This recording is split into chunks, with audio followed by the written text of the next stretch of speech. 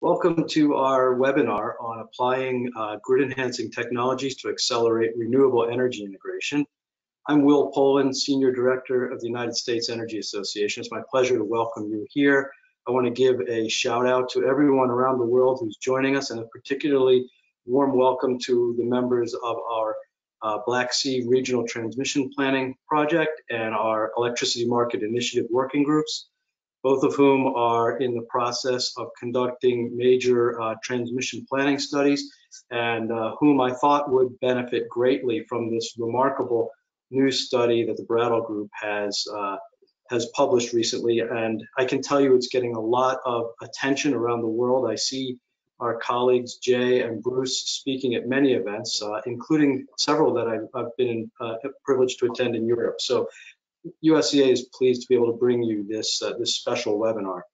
Before we begin, I'm, uh, I'd like to ask our acting, acting executive director, Sheila Hollis, to make some welcoming remarks. Sheila has joined us um, over the past year uh, upon the untimely death of our long-term executive director, Barry Worthington, but Sheila brings a wealth of experience in her own right as a lawyer, as the uh, chairman of the Energy Bar uh, uh Committee of the, of the Bar Association, uh, and an enthusiasm that we're all just feeding off of at USEA. So Sheila, we're really pleased to have you uh, this early morning on the East Coast. Thanks for joining us. Thank you so much, Will, and it's a, an honor and a delight to join you on this important topic. Uh, yes, USEA uh, is uh, is here. We are pleased to host this uh, wonderful program this morning. And just a little bit for those of you who may not be able to uh, have looked back into uh, what USEA does. We're a nonprofit, nonpartisan, non-lobbying organization, a rarity in Washington, founded almost 100 years ago. USEA's mission really has two strong pillars of equal importance. Domestically, we serve as a resource by convening uh, energy stakeholders to share policy, scientific, technological information that fosters the advancement of the entire energy sector. Internationally, USEA supports global energy development by expanding safe, affordable, and clean energy access in partnership with the US government, a la what we are doing today. As a domestic energy uh, industry resource, we host webinars, briefings, workshops, fly. We have five flagship uh, forums per year, and we offer a totally nonpartisan, unbiased platform for the expression of ideas, concerns, and solutions regarding all relevant energy issues. We strive to inform and promote a positive, effective dialogue on a path forward uh, in our energy and environmental related issues. USEA partners with USAID. It's an honor and a pleasure uh, to do that, uh, and it is uh, a very significant part of our raison d'etre. Uh, the U.S. State Department and the U.S. Department of Energy as well. We partner with, and we to, our goal is to help expand uh, safe, secure, uh, environmentally acceptable uh, energy access worldwide. Uh, our member entities include more than 100 organizations from the across the spectrum of energy sector of all sorts of energy, including governmental entities, nonprofits, Fortune 500 companies that encompass every type of energy source. Our international specialists work all over the world hand in hand with USAID and engage those members uh, to execute projects worldwide, including the development of regulatory frameworks and sharing of best practices to reduce energy poverty throughout the world and help build economic growth. It's a tremendous honor to be playing a small part uh, this morning, and I look forward to hearing from our great uh, panel with their very profound insights on uh, improving the grid uh, resiliency, improving grid, grid access. So thank you very much for having me.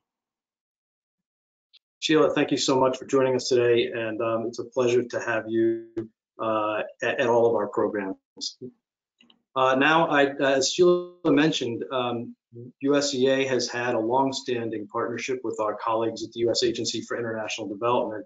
Program that I manage called the Energy Technology and Governance Program in one form or another has been a cooperative relationship with USAID uh, for more than 30, almost 30 years, uh, working in the uh, region of the world called that we call Europe and Eurasia to promote uh, energy sector reform, market development, ensure that there's adequate uh, transmission capacity to support markets, and we've had the privilege and honor of working uh, with our colleague at USAID, uh, Dr. Steve Burns, uh, who is the um, chief of the Office of Energy and Infrastructure for the Bureau of Europe and Eurasia. So Steve, I'd like to ask you if you'd like to make some welcoming remarks on behalf of the agency. Thank you, Will. Uh, I, I, appreciate the opportunity. I appreciate the invite. Thank you, Sheila. Jay, thank you for your insights today. I, I think this is going to be a great conversation. Uh, I think um, we're really pleased, right, to support this webinar on, on grid enhancing technologies. And as Will mentioned, this is just one step in a long and, and, and fruitful partnership that we've had for you know nearly 30 years now. I mean, uh, with with regard to some of the specific work we're doing today, uh, this, I think, grew out of a lot of the initial modeling and transmission system planning work that, that began in Southeast Europe and the Black Sea region, you know, in, in the late 90s and, and early 2000s, where we've worked cooperatively with the electric transmission system operators. Uh, for, for those that are, are more in tune with, with the programs that are run, you, you probably hear the Black Sea Regional Transmission Planning working group, the electricity market initiative working group, right? And together they're, they're all working towards the same goal, just in different aspects, be it again, long-term system planning, uh, removing seams and barriers for market integration between the countries and, and so on. And, you know, the, the point that I would make is, you know, USEA, you know, is, is, is an organization, an NGO that engages with, with the US energy sector and it gives us great expertise that we can tap into to use for USAID programming and, and to share best practices uh, uh, and, and expertise globally. Too often, I, I, think the conversation around foreign assistance uh, becomes a bit muddled in terms of just technology. And even today, the, the, the webinar about grid enhancing technologies, it's important, but it's only one aspect of what we do and where where Will and his team, and, and I think some of what you'll hear about today, right, make it successful is the better integration of technologies with the with the, the planning aspect, right, the, the capacity building aspect. It's not just what we at AID would call a tech drop, where we think about new technology and then that's the end of it. It's how are we integrating it and how are we making it more useful? So you know, in terms of the models that we've done, or the models that I should say that USEA and our counterparts have done with USAID support, right? These they're they're used for for long-term planning, interconnection studies, right? So uh, all of the new generation projects that are considered in the region as they come to these, as as as we're considering integrating them in into the power system or the local or, or the, the local entities are considering, right? These these models become the basis for those interconnection studies. And that's something that we're really proud of, leaving that legacy. Um, you know, our, our, our, regional studies identify bottlenecks, right, to integrating renewables, well, to integrating any power writ large, but specifically renewables uh, going forward. So again, I, I think this, this again becomes the basis for, for the longer the, the longer term. It's it's building into to how the power system is is going to evolve. And so with that um, you know I, I, look to the next the next 10 to 15 years and, and we're going to see an unprecedented amount of, of clean energy uh, coming into the power system both in the region but globally. And we're going to discover new congestion right i think writ large the region where we work has a well developed well built transmission system but you know, there are will be local pockets of congestion that are going to hamper a lot of these newer technologies. And so I think a bit what Jay and the other panelists will discuss are possibilities to expand this transmission capacity with a little bit less capital expense than we've considered in the past, a little bit less development time frame. And so that that I think is a real benefit in in transition economies where maybe where there's a bit more resource constraints. Uh, so with that, um, I think I'll, I'll, I won't say much more. Uh, you all didn't log in to hear me today. You logged in to hear uh, our, our, esteemed panelists. So I want to congratulate Jay Caspary of Grid Strategies for the study. I look forward to hearing what he has to say.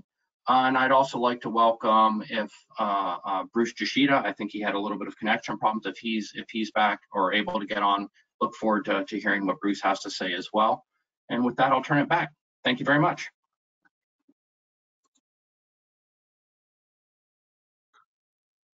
Will, you're muted. Thanks, Jay. Um, thanks, Steve. Uh, your, your remarks couldn't have teed up uh, Jay and Bruce's presentation any better. Uh, I want to thank you on behalf of the industry for your enduring partnership and work throughout the years to support uh, Southeast Europe and for your uh, your support for this webinar. As I said, you couldn't have teed up the, uh, the presentation any better. Now, uh, I'd like to turn uh, the floor over to our, our esteemed speakers, Jay Caspary and Bruce Tsuchida. Jay is Vice President at Grid Strategies, where he provides analysis and strategic guidance on transmission grid planning and operations to support clean energy portfolios. Um, he has over 40 years experience in transmission planning, engineering, and management. And prior to joining Grid Strategies, uh, in September of last year, he oversaw research development and tariff services for the Southwest Power Pool. Uh, in his career at SPP, Jay served as the head of transmission development and led robust transmission expansion in the SPP footprint. So we're really, really pleased to have Jay. He's a longtime friend of our program, having hosted uh, uh, delegations when he was at the Southwest Power Pool from the Europe and Eurasia region and traveled to the region to share his experience with us. Now, I also want to take the opportunity uh, to introduce Bruce, uh, so there's a seamless transition between Jay and Bruce. Bruce is a principal at the Brattle Group with over 30 years of experience in domestic and international power generation development, utility operation, and power market analysis. His experience spans a wide range of utility consulting projects, including analysis of operations of power markets, ranging from integration studies for intermittent resources, such as the wind and solar power we're going to speak about today, to ancillary services studies, operational logic studies, and analyses required for regulatory proceedings. Uh, he holds two MS degrees from MIT, the Massachusetts Institute, Massachusetts Institute of Technology, one in electrical engineering and computer science, and the other in technology and policy. We're really fortunate to have uh, Jay and Bruce join us today for this, I think what's going to be a fantastically interesting webinar. As I said earlier, they're taking this uh, presentation all around the world. It's receiving a lot of attention. I think they've got some really important uh, things to tell us about transmission, and uh, I'm going to stop there and turn it over to Jay. Uh, I would just say, uh, if you'd like to ask questions, please submit them in the chat, and we will. I will read them out uh, um, toward the end of the presentation, time allowing. So, Jay, thanks to you and Bruce for joining us, and the floor is yours. Thank you so much, Will. And uh, thanks, Sheila. And um, thanks, Steve. It's a pleasure to be here. And uh, it's great to, to I, I, wish we could meet together personally. Um, I, have had tremendous uh, experiences in my life traveling and, and being part of USEA uh, and USAID projects and programs in, in uh, the Black Sea region as, as well as uh, Southeast Europe. And I hope you find this of interest. I'm sorry, Bruce has camera's not working, but uh, him and I are going to tag team this. And uh, he's going to give a lot of background, and I'm going to focus in on the study that was done at Southwest Power Pool. And just for some background, for those that may not have experience or knowledge about SPP, um, Southwest Power Pool is kind of the uh, premier wind and solar resource regions in the central U.S. Um, SPP, I remember when we started, Bruce and I working together on wind integration studies over 15 years ago. We were looking at penetration scenarios of 20 and 30%. And I remember we couldn't even get a 40% model to solve. Um, hard to believe, but SPP has reached levels approaching 85% wind penetration across its 14 state footprint. Just a tremendous success. Um, and a, it actually um, speaks volumes to the importance of regional planning, the importance of market evolution, and uh, the criticality of, of having robust transmission systems to enable you to integrate diverse resources over broad footprints. Um, so we're going to talk about a study here that's been shared a lot in the last few months and actually will be shared more. Actually, we have a an IEEE uh, Smart Grid Forum uh, tomorrow um, we are uh, presenting this hopefully at uh, CIGRE coming up here in Paris next year. Um, hopefully there'll be a lot more conversation about the next steps and we'd like to get your input on, on how to move this forward. Um, we also will be presenting this, we have presented it at Current, which is a, a European-based transmission planning forum where they're looking at technologies such as um, dynamic line ratings, such as advanced power flow controllers, as well as topology optimization. Those are the three technologies that we're focusing on here as part of this WATT Coalition study. And uh, there, there, are other technologies too, and sometimes they're called uh, advanced transmission technologies and not grid enhancing technologies. So there's there's different acronyms in different parts of the world. Um, but in essence, the, these these assets, these technologies, these sensors, these algorithms are uh, enabling us to integrate more renewables quicker and to take better advantage of the latent capacity in the existing networks. Um, that maybe uh, maybe we have phantom congestion. Maybe it's really not congestion, but we think it is because of static ratings or or outdated protocols on how we operate and manage the grid. Um, so I'm going to introduce Bruce Tsuchida and let him speak, give some background, and then we're going to dive into the study and the results. Uh, I look forward to the conversation. I encourage you to uh, put some questions in the chat. And uh, with that, I'd like to turn it over to Bruce. And uh, I'm going to turn my picture frame off so you can focus on his words and his slides. And I'll be back. Bruce, it's all yours. Thank you, Jay. And uh, thank you all for uh, allowing me to present along with Jay. I apologize. Somehow my camera's not working, but my microphone is. So the microphone and the camera are the same same equipment. So I don't know what's going on. So please excuse me for not showing myself. As Jay said, we were going to talk about the different technologies that can be applied to transmission today. Uh, this is just one case study. These technologies can be applied to multiple different ways and uh, provide multiple benefits. In this case, we're just showing how it can help you integrate more renewables. So without further ado, I think I'd like to jump into the presentation. Can we go to the next slide, please? So the common industry goal, no matter where you are, which part of the country you are, or which part of the world you are, and what kind of market structure you have, is constantly to improve the dispatch and fuel efficiency of the system while maintaining reliability. The fuel efficiency in a lot of ways can mean that uh, you're reducing out of the merit dispatch. The most uh, representative out of the merit dispatch is renewables and replacing that renewables with thermal uh, thermally uh, fueled uh, uh, generation, partially because it's caused caused by transmission congestion. And this this presentation is looking at how we can potentially eliminate that. Now, the elimination comes in two flavors. One is in the long run, where the where you can um, unbottle the transmission congestion so that you you can more lower cost resources that's in the planning uh, time frame. Um, and there's there's two flavors to it. One is that uh, renewables can be installed in within months years, while transmission takes five years, sometimes decades, or even longer.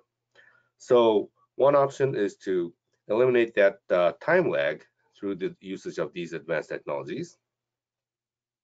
And furthermore, it increases the market efficiency because there's a lot of renewable projects that are canceled just because of the high expected value, high expectations of curtailments or the long time lag that's caused by the new transmission coming in and the renewable developers don't just have that patience. They rather build something elsewhere. And so there's that inefficiency that can also be solved through these technologies.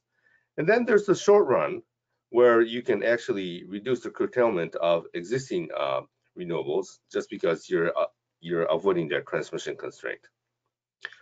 Now, this presentation focuses on the long run, how you can integrate lower cost resources through these uh, advanced technologies. But the technologies can also help in other means. Uh, it can complement transmission buildups. For example, if you are having a transmission project that is causing a outage to interconnect that new line, you can use these technologies to reduce the impact of that, of that outage. Or oftentimes what people find is that when they build a uh, high voltage system, the underlying lower voltage system uh, shows unwanted consequences and you're seeing new congestion patterns that you did not anticipate before. So these technologies can help you mitigate those while you're coming up with a um, permanent solution. In any case, the benefits of these grid enhancing technologies that we're going to be talking about today are that they can be installed quickly and cost effectively. It, will help maximize the capability of the existing transmission system. Again, today we're going to be talking about how it will help integrate uh, renewable resources. but uh, the benefits are in the short term, um, not necessarily limited to what we're going to be talking about today. So with that, next slide, please. This is a map of the US and every place where you see a green shows areas, whether it's a federal jurisdiction, a state jurisdiction, or local uh, jurisdiction, including the utilities by themselves that have uh, renewable resource uh, targets. And many times it's uh, associated with carbon reduction. You can see that most of the areas within the, uh, the populated parts of the US have some kind of goal. And increasing the renewable projects not only help with these goals, but they do help with the uh, job security and other local benefits that to help uh, boost the economy out from the current COVID downturn it's facing. So with that background in mind, uh, let's go to the next slide. Uh, one of the issues that we want to talk about are what are the roadblocks? Um, one is that the utilities and system operators do have a good understanding of uh, the renewable resources. As Jay was saying, uh, Jay and I did the SPP wind integration study back in 2008 or 9. Excuse me. in those days, everyone was freaking out that 10% of renewables is going to collapse the grid. As Jay said, we couldn't even come up with a power flow case to solve for the 30% and 40% case. But uh, we confirmed that uh, in those days, 20% would not cause an impact, and to get to 40%, you need to enhance your transmission system. SPP in those times was primarily a 138 kV system. Um, now it's a mesh of double circuit 345 kV systems that's allowing a lot of wind to be collected all over the the, the footprint and sent to the different um, different uh, load centers. I think uh, most recently they uh, last year they they uh, nominated wind as the number one resource in terms of the generation mix, and uh, most recently they surpassed on an instantaneous moment 80% of the uh, generation from wind. Now, uh, with that said, transmission availability has been a major limiting factor. Even in SPP, where you have uh, double circuit 345 kV systems that are helping all these uh, renewable integration, there's a huge backlog in the generation interconnection queue. And part of this is caused because of the timing gap. Renewables can be developed pretty quickly. Uh, transmission line takes sometimes years to decades, especially the bigger projects. And the other issue is that the utility scale renewables are typically most more cost effective on a per dollar per megawatt hour basis compared to distributed resources. But the utility scale renewables, despite the fact of their efficiencies, are the ones that are suffering from the time gap or the availability of transmission, unlike the distributed resources. So it also has a policy implication on how you want to integrate more renewables or encourage more renewables. And so again, today's presentation is how can these grid enhancing technologies help integrate more renewables? Next slide, please. Um, so before we go into the actual documentation, uh, we we like to talk about what the potential benefits of these grid enhancing technologies are. The picture on the right hand side shows a white paper that we uh, we filed at, at, at FERC as part of uh, one of FERC's inquiries saying what kind of um, technologies are out there.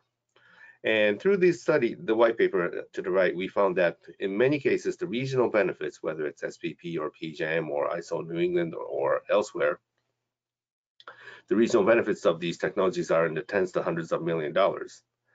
Um, the PJM study indicates over $100 million of production cost savings in real-time markets.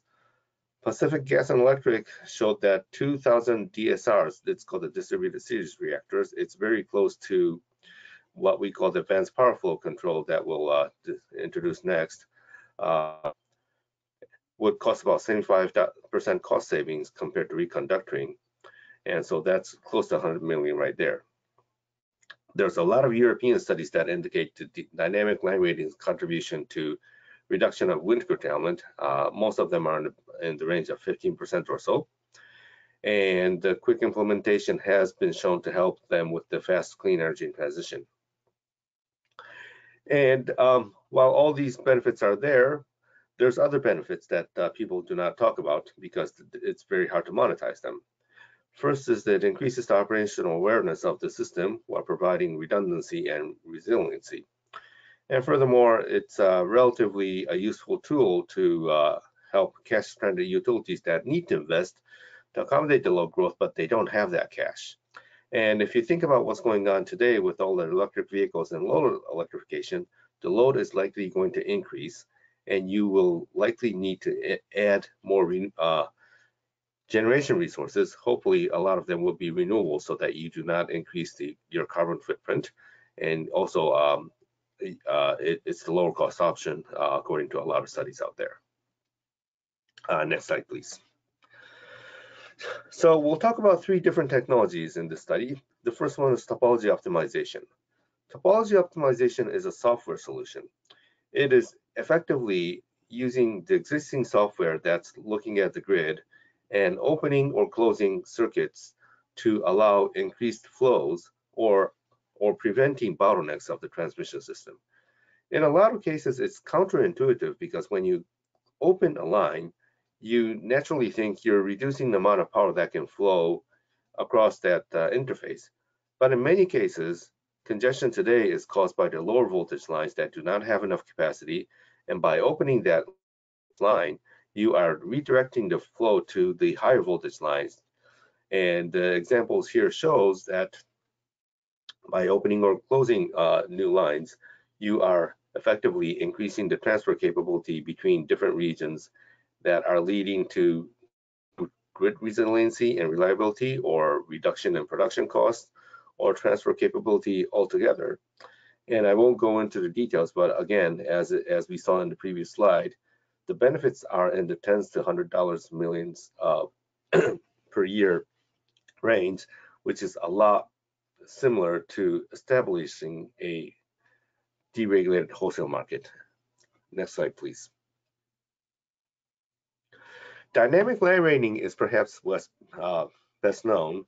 Uh, back about 10 years ago, Oncor did Oncor, which is a Texas utility, did, did a study on the dynamic line rating. They showed that uh, dynamic line ratings between 5% and 25% uh, higher transfer capability but they also showed that if you increase the current uh, grid transfer by 10%, you're effectively eliminating most of the congestion that's out there.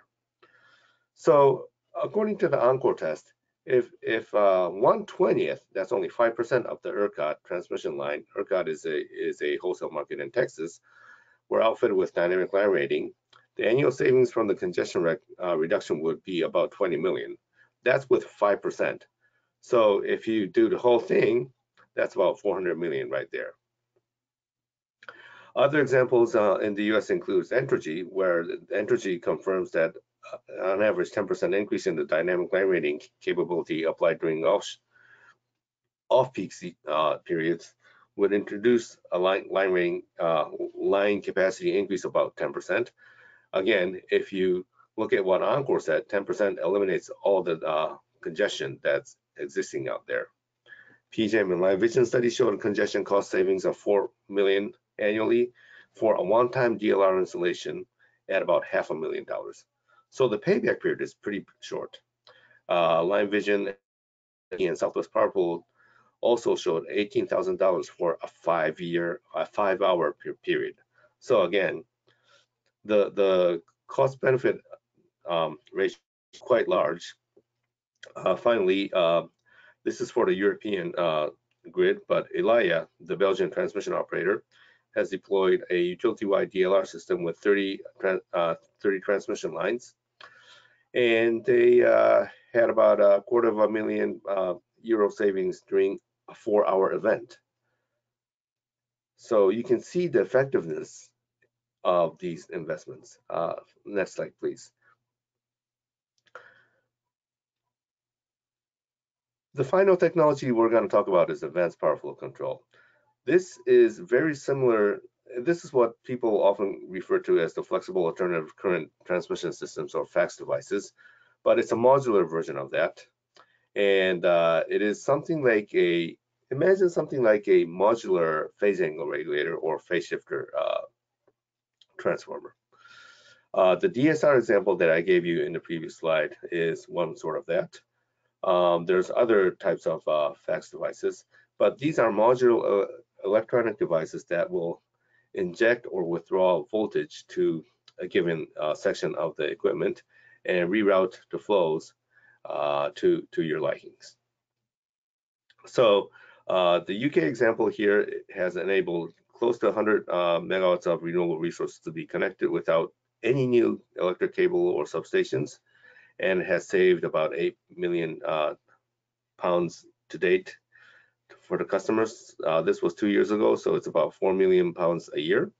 Uh, there's a DNV GL study uh, that uh, shows that if you deploy FACTS devices to the PJM system, uh, assuming that there's going to be 30% renewables in PJM, then the annual combination of the savings is close to $900 million a year. Now, whether you agree with these uh, calculations or not is a different story, but you can actually see that the benefits are humongous. Even if there's a error range of 10, you're still talking close to $100 million a year. So with these technologies, I'd like to uh, go into the study. Next slide, please. Uh, before I hand over to Jay, I, would like to kind of give you the outline of the story of, of, the study. The slide that you show here is the cover page of the public uh, version of the report. It's available at the link at the bottom. What we did was we looked at the Southwest Power Pool. Uh, there's roughly nine gigawatts of renewables that are awaiting in the inter interconnection queue with uh, the IAs already assigned. Nine gigawatts is ready to go if conditions allowed. So we looked at the three grid enhancing technologies that uh, we I, I, just introduced to you. It was done, the analysis was done in the order of dynamic ratings, um, topology optimization, and then advanced power flow control. The orders matter because the first one that comes on uh, takes the long hanging fruit. We uh, arbitrarily chose these orders, so please do not use the study to try to figure out which uh, technology is more beneficial or which technology is superior. The analysis that we did was for the combination of the three.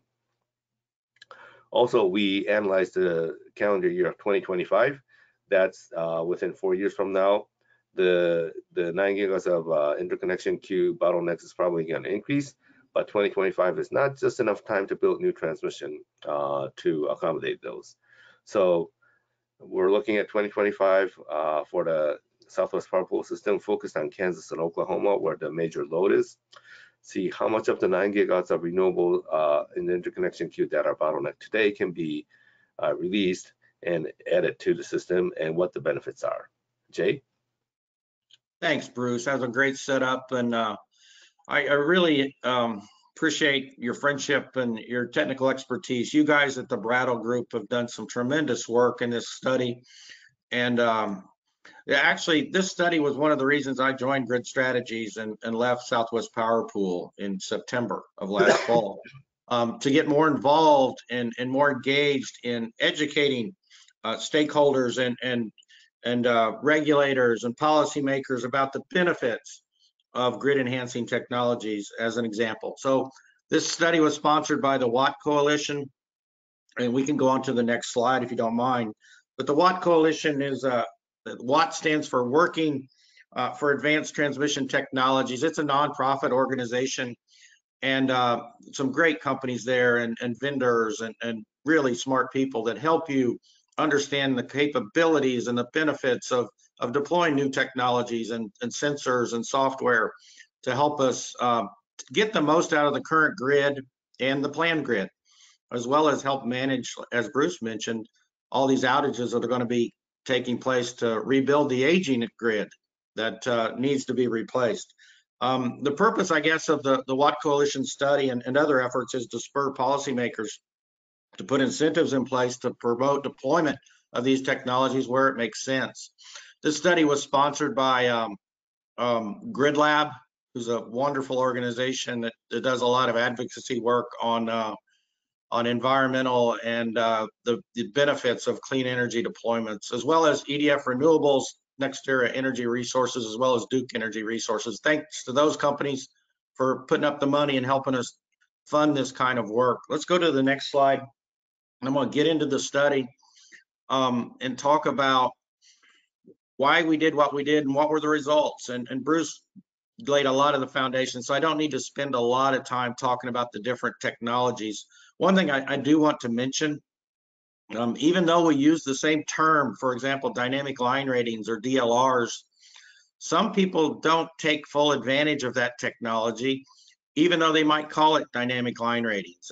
An example is um, the Entergy um, experience to date has been based on ambient adjusted ratings for transmission lines, which, which just captures the temperature effects on the conductors.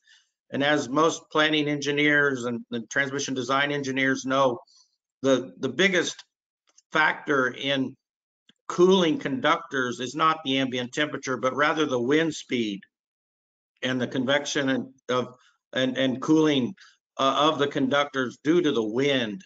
Um, and, and very conservative wind assumptions are typically used in static ratings for, for conductors. So if you look at uh, a planning model or even operations model that doesn't have dynamic line ratings, you may be grossly understating the capacity of the system before you hit safe or limits that, that should be reflected of safe. And then you don't want to damage the equipment either by overheating. But anyway, we've talked a little bit about grid enhancing technologies and how we can use them to complement new transmission assets, as well as how do we integrate more transmission based on the current and planned upgrades. Um, so we're going to talk about that as well as advanced power flow control and topology optimization. Let's go on to the next slide, if you will.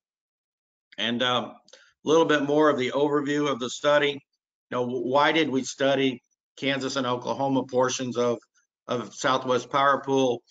Um, these regions are, are rich in wind resources and have significant capa- capabilities of, of solar development too.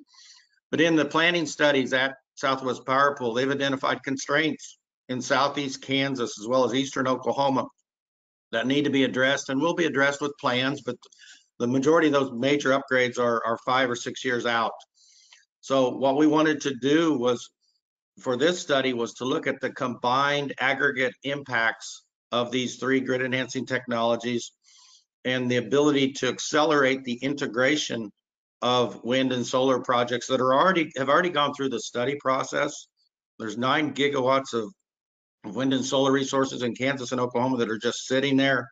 Um, and they we wanted to see well how many of those projects that are sitting there could be um, integrated into the system and maintain reliable service and meet reliability criteria um, with and without grid enhancing technologies. And then we'd look at how many, how much energy we'd get out of those resources, what are the economic benefits, as well as what are the environmental benefits. I'd like to go on to the next slide and talk a little bit about the study approach. Um, so, so this study, like we said, looks at the combined aggregate benefits of these three enhancing grid enhancing technologies. Um, and we actually started with actual operational models. And, and Bruce and his team um, collected um, EMS models, snapshots in time in 2019 and 2020 to be representative of what we think the system could and should see in terms of curtailments over the next five, 10 years. Um, these actual snapshots were were binned and and and with similar amounts of curtailment and uh and, and Bruce did a lot of great work here on the statistical significance of these snapshots to make sure that they were balanced, to make sure that we didn't have all, you know, spring nighttime models here. We, we've got different models across the different seasons, across different times of day, as well as as um, as, as of different seasons, as I mentioned. Um, so there, there are different models to, to represent the different system conditions as well as the weather patterns, as well as the load patterns, resource mix that we would see across a calendar year. So we updated those models to reflect known and approved transmission projects.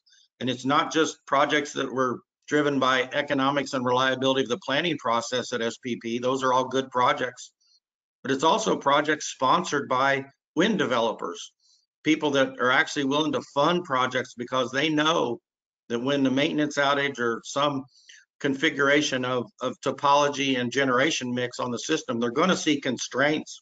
They're going to adversely affect their resources. So they they actually fund those projects up front. and those projects get installed. So projects like that are also in the models, as well as retirements of existing resources and new um, changes that are going to happen to the topology, um, as well as the load mix and the resource mix. So what, what Bruce did was run a whole bunch of security constrained optimal power flows. One to create the base case for each of these snapshots that are updated models, as well as what would happen if we started to deploy DLR and then optimize the implementation of DLR, then moved on and said, okay, now what if we use topology optimization on, on top of the DLR? How much more wind could we integrate? And then he iterated some more and then he got a good optimal model with DLR and topology optimization. And then he said, okay, and now let's add advanced power flow control and see if we can uh, push and pull more power on the system to even get more renewables and still be within the reliability requirements. And then accessing those benefits against um, the economic values that are provided in terms of production cost savings, jobs, and tax benefits, and all of that, as well as the environmental benefits of these these simulations. So they're based on real models that have been updated and um, a lot of power flow analysis. Not production cost kind of analysis yet. We think we want to do that in the next phase, but we wanted to get a, a first pass at this. Know, I'm an engineer and I, I did expect to see significant improvements from these technologies, but but not nearly what we've seen. Um, and I'd love to talk to you more about that and get some questions and conversations going. So I do encourage you to add questions into the chat.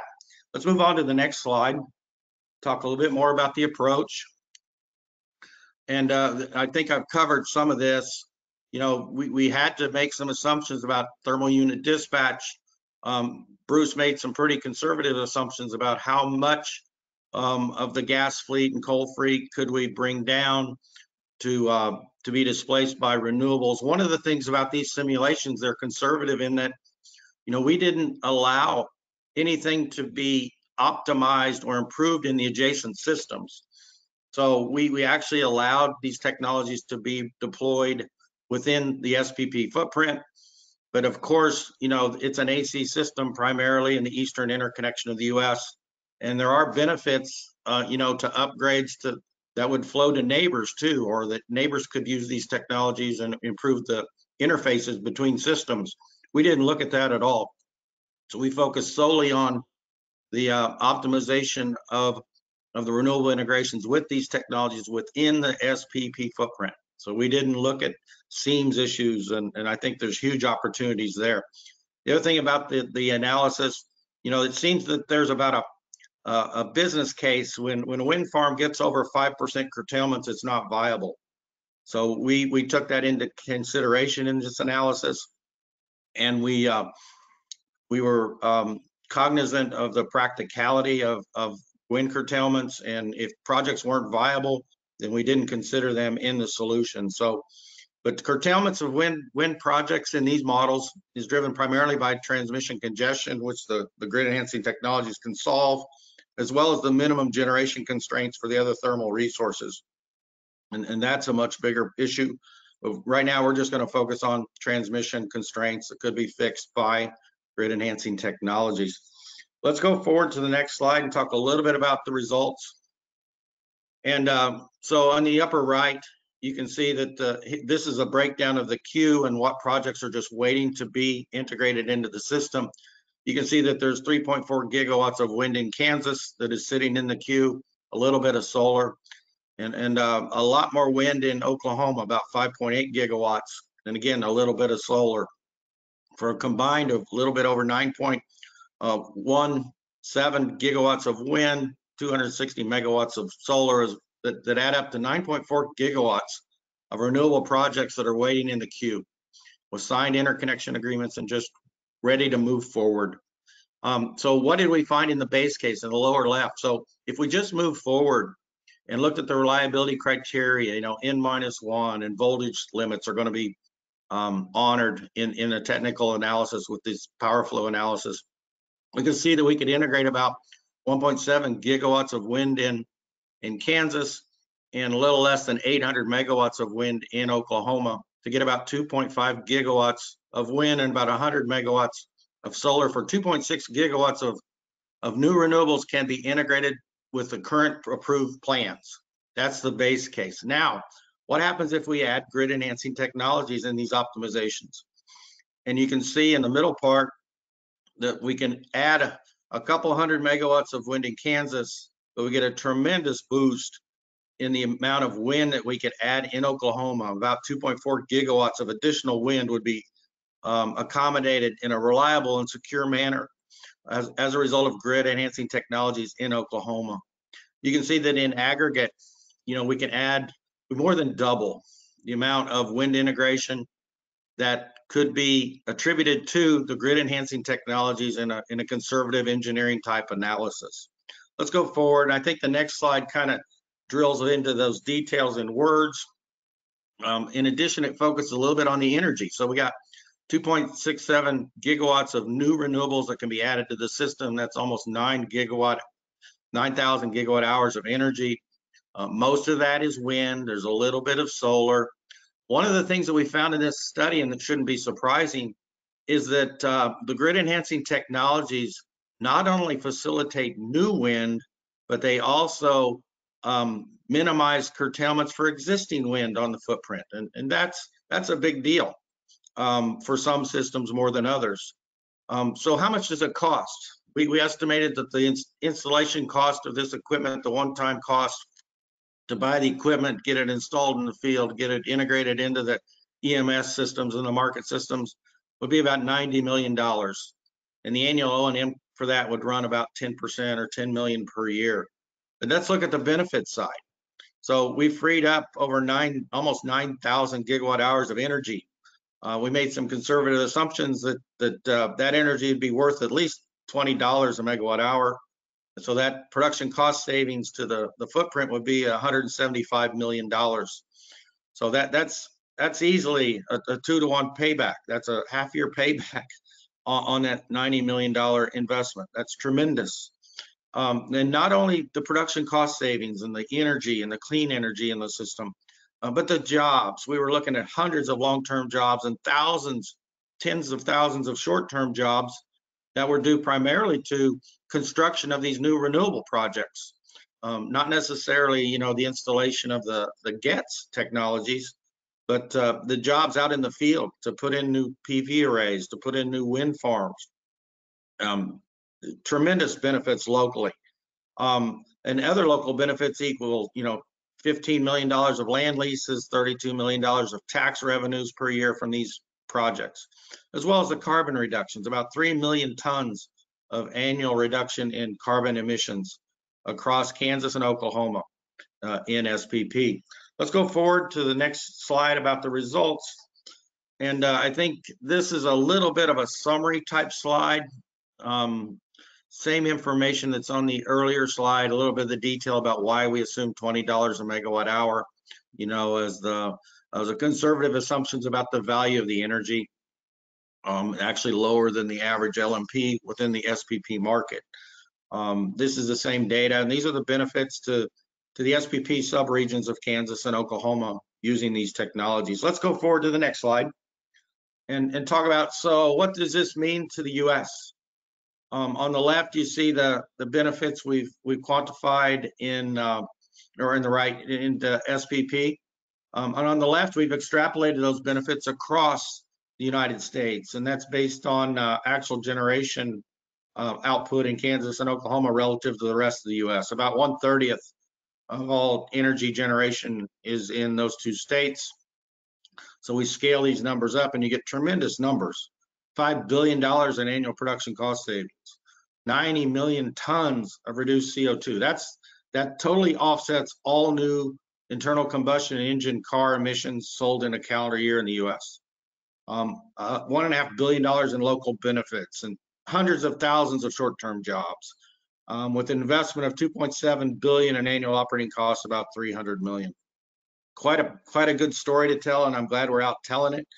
Um, let's move on to the last slide if we can. I want to talk a little bit about the details. Again, I would encourage you to ask questions and uh, look forward to the Q&A. So the engineers probably want to know, well, how many different devices and software solutions were actually installed in these in these these uh, simulations. And as you can see, that the top part shows for dynamic line ratings. Um, we were installing those on 56 lines. The majority of those were installed on on 138 and 161 kV facilities, as you might expect, to to to to relieve the constraints on the underlying system and let more power flow on the, the EHV backbone system. Uh, advanced power flow controllers, you see very few of those applications in substations and on the lines to push and pull the power, but that was the third in the in the trio of solutions that we implemented over time. So you would expect advanced power flow controllers to be less implemented and less deployed in these simulations. Had we used them first, you would have seen a lot more of them. But anyway, we did find cases to still optimize the system with additional advanced power flow controllers. the, the last technology which we deployed in the middle of the three was topology optimization. So how many times, and you only have to deploy the software and integrate it into the systems once, but you need to know how to use it. And one of the things about topology optimization, especially in big networks, is you might find a, an opportunity to relieve constraints in an adjacent system for a topology switching operations in a yet third different system. And, and we did see that. And we see that in SPP in the real world too. You know, sometimes the constraints power power flows can can sometimes not be real intuitively obvious of, of how you should reconfigure the system to get the most out of the network. But what we see, we we notice that there's about 13 actual switching operations per event. Uh, again, most of those are done at the 138 kV system level and the 161 system. There were pretty tight criteria on how many switching operations were viable at what voltage classes um, how much load you'd allow, allow, to be radialized in these operations. Um, but th this is the data, um, and this is what's available publicly. The, project sponsors got to see the details as well as SPP staff to validate that these uh, assumptions make sense, that these uh, DLR deployments and advanced power flow controller deployments, as well as software reconfigurations were viable and reasonable solutions um, but we're not sharing that information with the public for obvious reasons. Um, and, and, that's not the purpose of the study. The purpose was to look at the aggregate benefits of these three technologies on real world models that were updated to reflect um, actual expected conditions. I think I want to just um, wrap this up in terms of the formal presentation. I'd look forward to the conversation. The next slide just provides an, an outline, I think, of the study. You know, this is a pretty in-depth uh, analysis. I'd encourage you to to take advantage of it, download it, look at it. Um, let Bruce or I know if you have questions about the methodologies, about the scope, about the results. Um, and and uh, I'm very proud that, we are getting this information out. It's getting lots of interest um, amongst not only technical engineering type people, but policy people. Um, the uh, the, the whole concept of, of, well, why aren't these being deployed in the US? And it, it's frankly a, the, the lack of incentives and the business models in the US don't really reward utilities for building um, out the system in a way to get the most out of the current network or to necessarily optimize the economic value of planned upgrades. It, they're, they're put in there primarily for reliability reasons, and they're pretty much incremental solutions based on traditional models and approaches. Um, we're, we're, a big fan of grid enhancing technologies.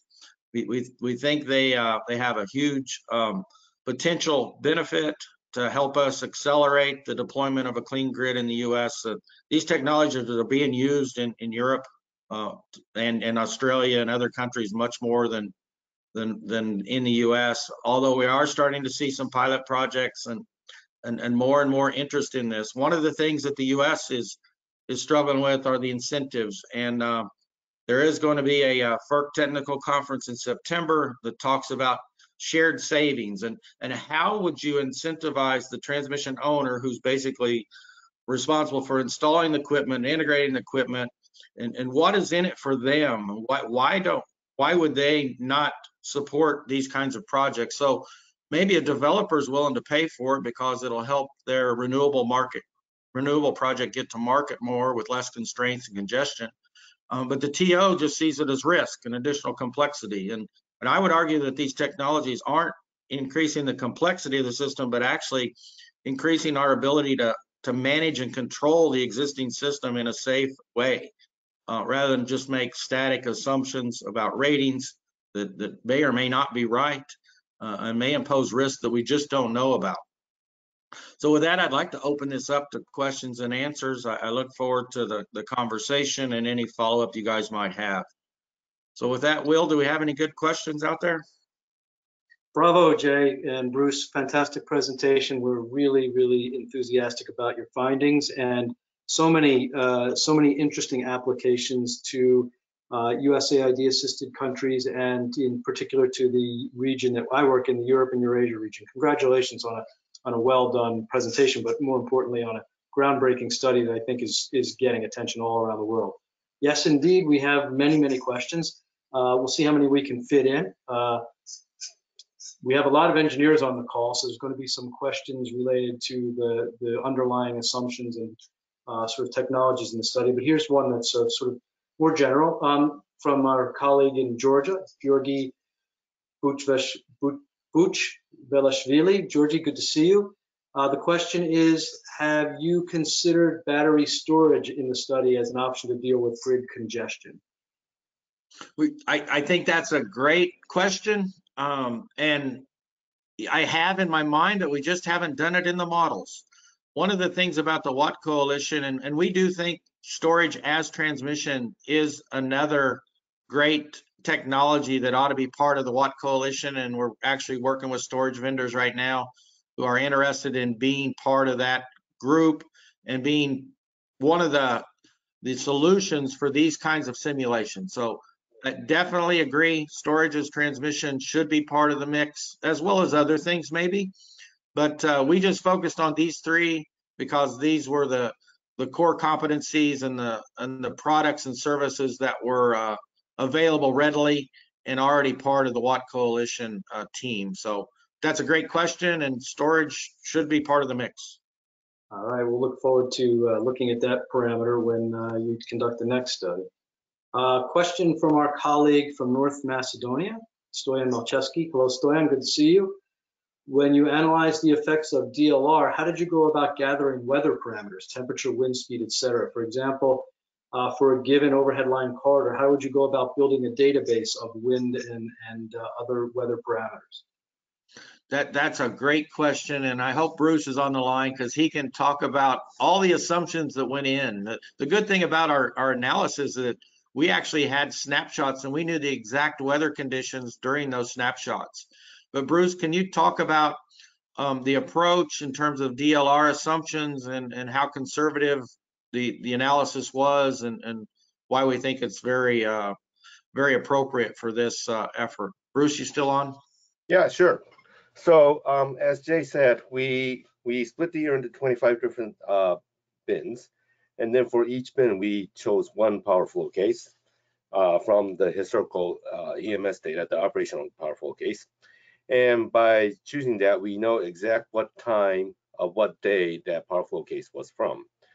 So then what we did was we looked at the weather patterns for different locations within SPP, uh, looked at the temperature, the humidity, the wind, either in the east-west direction or in the north-south direction, took the minimum of the east-west or north-south uh, direction wind effect and applied the DLR uh, effect based on those weather uh, conditions that we found for each snapshot. And then we further capped the DLR benefits at 20% because we're thinking, okay, even if DLR can provide a uh, higher benefit, there's probably going to be some other equipment that can be the bottleneck. So we limited the, the benefits of DLR at that 20% if it ever reached 20% and applied those benefits to all the potential DLR options that we had. Does that uh, answer the question here? I think it does. I'm sure that if you uh, had a chance to talk to Stoyan, you guys would have uh, hours and hours of interesting conversations. So I'll encourage Stoyan to reach out to uh, you, Bruce and Jay. I think they, and then we'll certainly when travel resumes, we'll invite you to come to one of our meetings and we can have much more in-depth in discussions.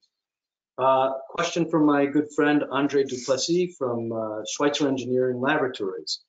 To what degree are grid enhancing technologies or what degree can grid enhancing technologies be integrated into real-time wide area monitoring and control systems like special protection systems to balance the grid in real time? That, that's a great question, and, and I wish I was a relay engineer, but I'm not. Um, and I, I'm sure that he's got ideas about the, the limitations, you know, and, and the, the challenges, I guess, with uh, taking advantage of new protection equipment and making sure we're not uh, we're not uh, getting ourselves in trouble by making uh, invalid assumptions about what how much power can flow and how much switching can happen um, on the system. Uh, Bruce, do you have response for that? I, I, it's a great question, and I don't have an answer. We we just need to be looking at reasonable assumptions. You know, we're, we're not letting these these uh, these models, as Bruce mentioned on the DLR, the constraints that were put into these simulations. Um, you know, we, we're only looking at 5, 10, 15% improvement of capacity on select lines for select simulations.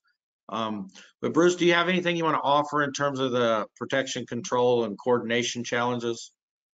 Yeah, so the, uh, there's two two different flavors to it. One is the DLR and uh, advanced tech, uh, advanced um, power flow control that are hardware solutions. So there's one way to apply the hardware solutions.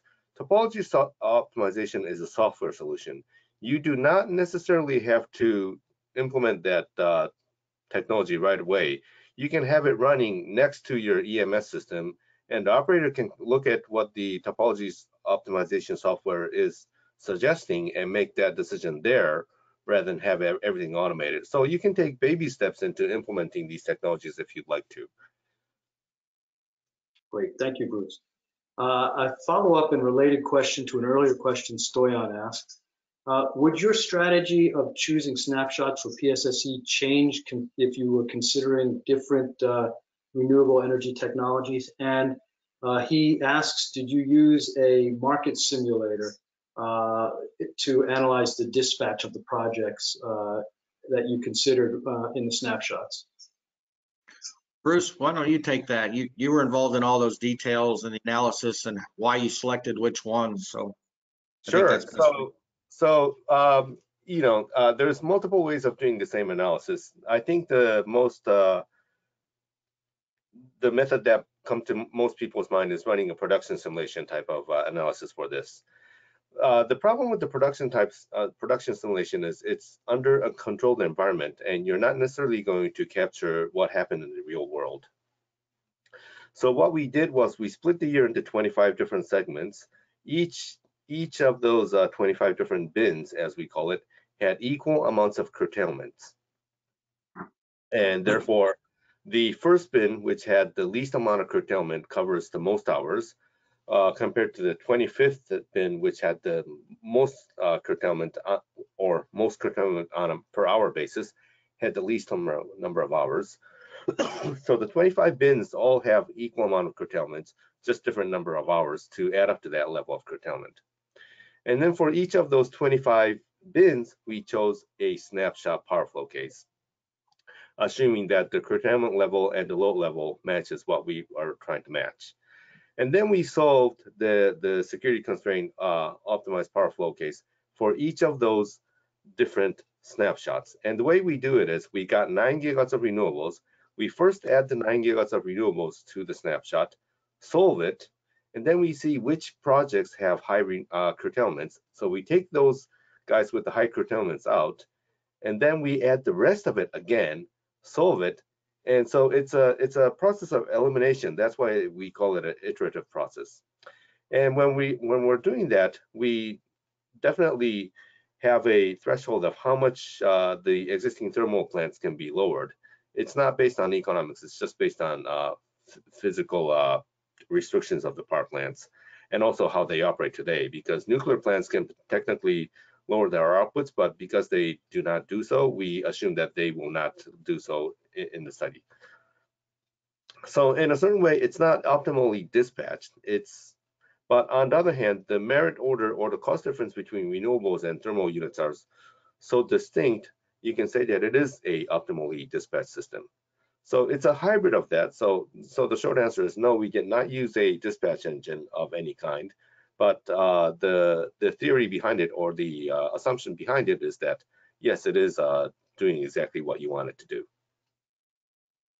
Okay, that makes good sense. I hope that answered your question, Stoyan. Question from Aaron Ansel. Uh, Jay, why was uh, so, was solar so much lower just because there isn't as much solar projects in the queue, or is there a particular technical reason? You know, uh, that, that's a great question, and, and there are um, the, in the in the last couple years, the the queue has exploded in SPP with solar projects. You know, wind has always been the the prominent resource in the the GI studies. Um, and, you know, we've, they've got over 27,000 megawatts of wind farms installed on SPP system.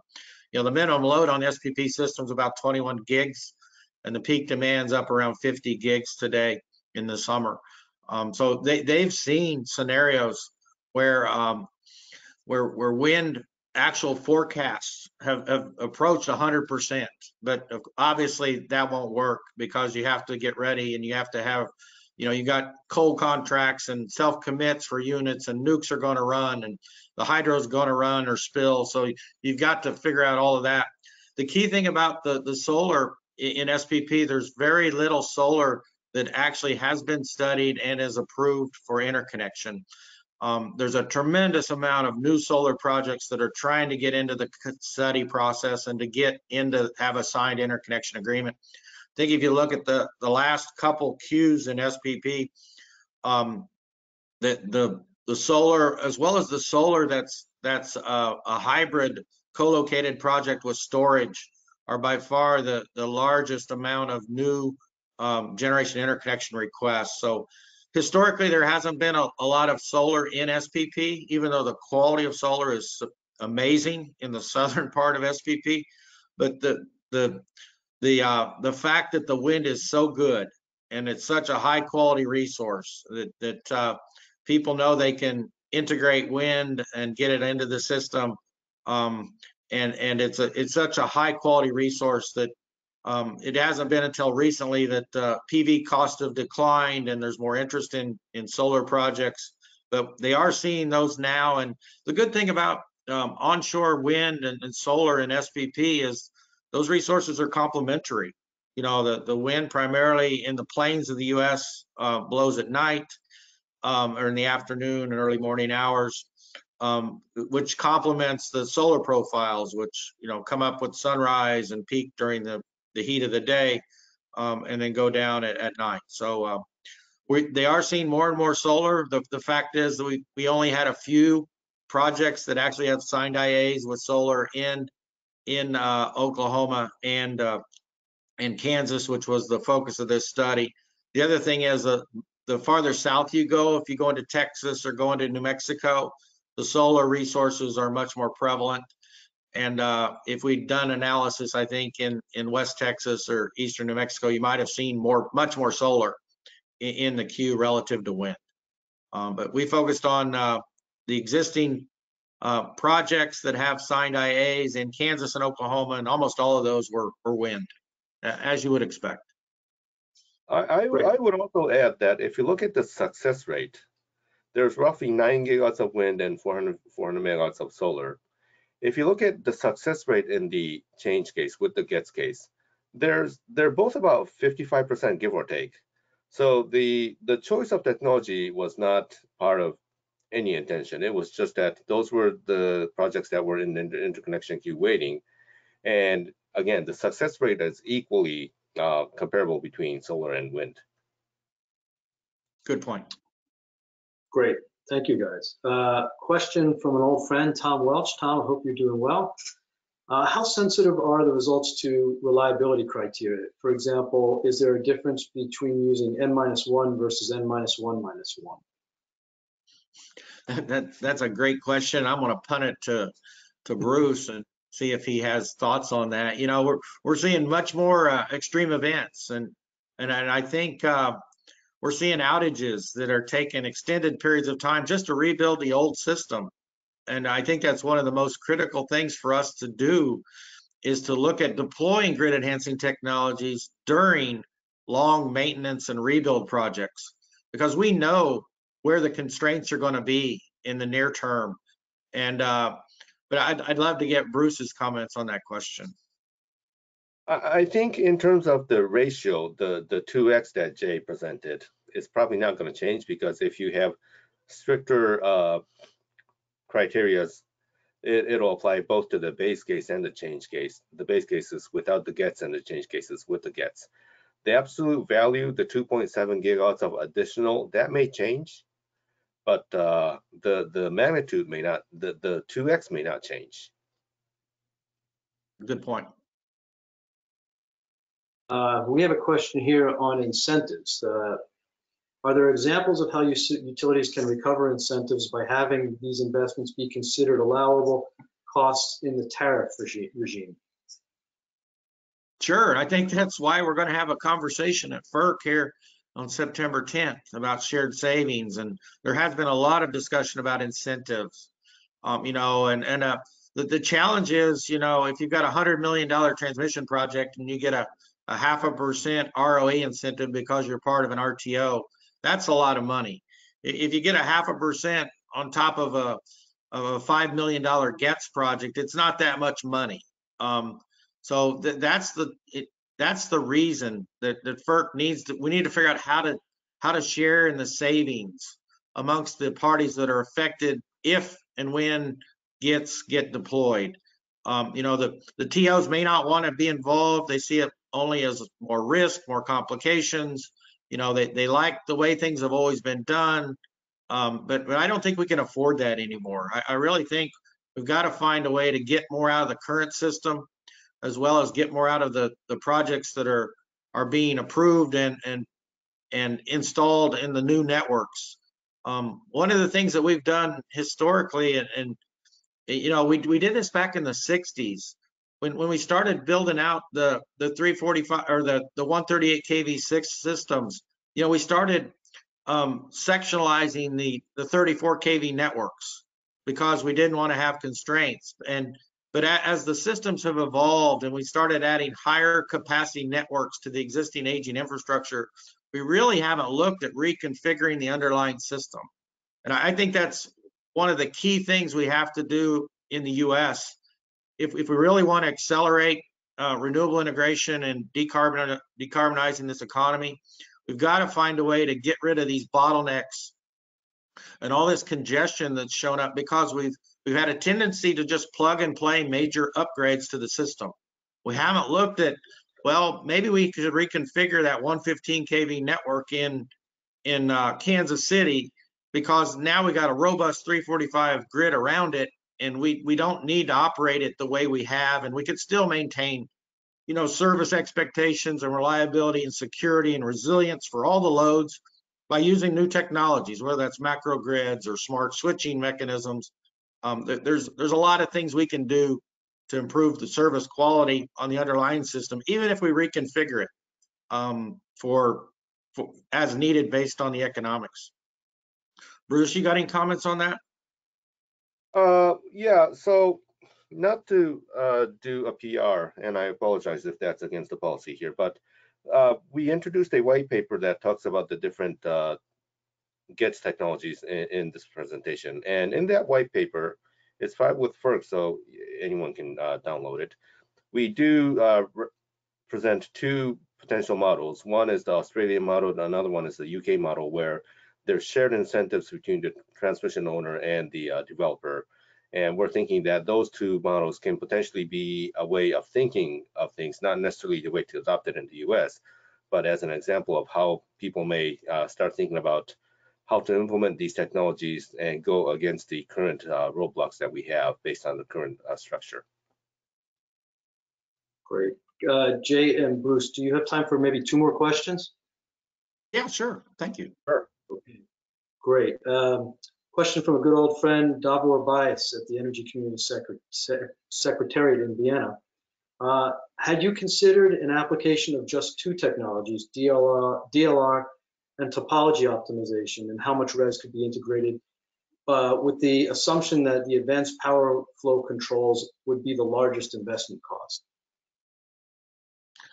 That, that that's a great question, and uh, if we had unlimited resources and time and money to do the studies, I'd love to see the answers. Um, I, I think, uh, you know, one of the things that we need as an industry are, are better tools to figure out how do you really optimize um, these potential advanced transmission technologies or grid enhancing technologies. Um, I'd, I'd love to see the answer. Um, you know, the, the relative cost of these devices is, is we need to be careful in just looking at the, the, uh, what it would cost to deploy them um, because some of them have tremendous benefits and, and you, you want to, I think, maximize the net benefits to the consumers at the end of the day. So even though you may spend a little more with advanced power flow controllers or additional FACTS type devices, there may be tremendous paybacks. Um, I'd, I'd love to get Bruce's comments on on that potential uh, scenario. Well, um, I'm not going to share the results for obvious reasons, but again, we analyze it DLR and then topology optimization and then advanced power flow control in that order, and then we revisited the whole thing to see if there's opportunities for any of the technologies afterwards. So I do have that number. I know what it is, but I can't share it with you for uh, for the reasons that uh, Jay uh, described. Thank you, guys. We understand. Last question uh, relevant to this region that, that I work in. Uh, more general than maybe uh, specific to the study, but do you face problems with renewable energy integration and congestion because of balancing problems and lack of system flexibility? Or is it simply the queue that is causing the congestion? You know, I I, I don't think there's just one cause. I, I think there's a lot of reasons and, and a lot of things we need to do to improve our uh, operational practices, our protocols, you know, uh, flexible resources are really, really important. Uh, as Bruce mentioned, I, I, think a lot of the curtailments constraints we see for renewables and other variable energy resources are simply due to uh, the inflexibility of the traditional fleet. Um, I'd, I'd like to get Bruce's comments and we'll wrap this up. I think if you look back 10, 15 years ago, uh, people were saying first coal units don't cycle, they're base load and 10% uh, of wind or solar is going to be detrimental to the system. The the industry has come up big big time in terms of uh, pr producing flexibility or providing flexibility through generation resources, and now uh, systems with 50% renewables is not not that uncommon. You see it in California, Texas, SPP, MISO, elsewhere. And so now we've got, uh, we've learned how to take take advantage of the flexibility of the gener generation resources, we're trying to expand that flexibility into the transmission side. So I think it's just a matter of people getting comfortable with that uh, technology and learning how to use it. And the industry has come up big time compared to 10 years ago in terms of renewable integration by advancing that. So I think another five, 10 years and we'll be there. Yeah, I, I agree. And, and, one one final comment, I, I think it's not just on the resource side, we need to look at flexibility on the demand side.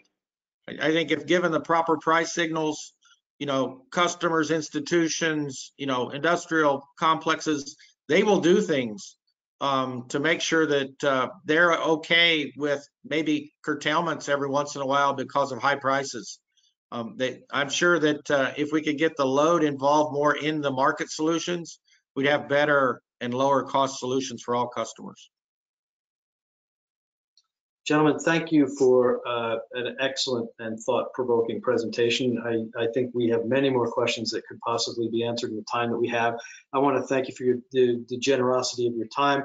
I will extend an invitation. You have an open invitation to join us in any of our working group meetings overseas once uh, once travel resumes, and we'd love to have you talk more about this. Uh, again, thank you so much. Congratulations on a wonderful study, and I wish you great success in the rollout of it and your discussions with FERC to get this technology, uh, you know, deployed on the grid. And it's got so much promise. Thanks again, Jay and Bruce, for all your time. Thank you, Will. Best Thank of you. luck, everybody. Bye-bye. Bye. Goodbye.